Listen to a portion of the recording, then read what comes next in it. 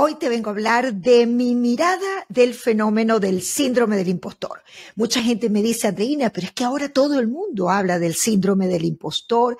Pareciera que es una moda y realmente no lo es, no es una moda. Lo que pasa es que yo siento que hoy hay una tendencia a aceptar más eh, nuestra vulnerabilidad. Yo te voy a contar desde la vivencia un poco cuando nace mm, en mí esa sensación, esa vivencia. El síndrome del impostor en ningún momento es una patología, no está descrito en ningún manual de diagnósticos psicológicos, no, es una vivencia en la cual tú sientes ante un evento puntual eh, que de pronto tú no eres o tan inteligente o tan talentosa, talentoso como otros piensan.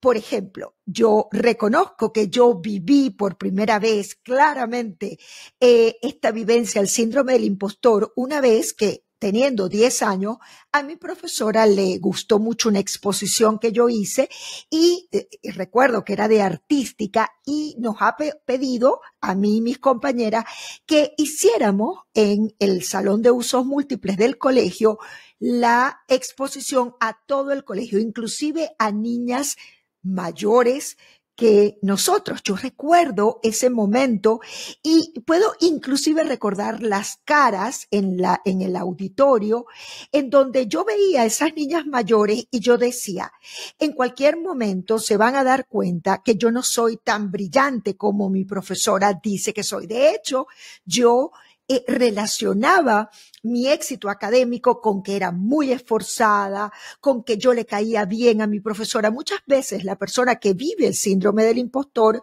no le termina de dar mérito a sus talentos naturales, sino que encuentra una explicación. El mérito viene dado porque yo tuve una madrina así asado que influyó en que yo eh, consiguiera tal posición. Eso vivió conmigo toda la vida y encontró un pico a mis 32 años cuando a mí me piden que, eh, por favor, forme parte de una junta directiva conformada por puros hombres, hombres con un perfil profesional alto. Recuerdo que algunos venían, que si egresados de MIT, de universidades Ivy League en Estados Unidos, y yo decía, ya va, ellos se equivocaron al escogerme a mí en la junta directiva. ¿Qué voy a aportar yo? ¿Qué cosa importante tengo yo que decir? Yo me mantuve callada aproximadamente por año y medio en esta junta directiva hasta que entendí que yo no me tenía que convertir en uno de ellos, simplemente siendo la Andreina de 31 32 años con una mentalidad bastante descontaminada podía aportar a la junta directiva desde mi absoluta autenticidad.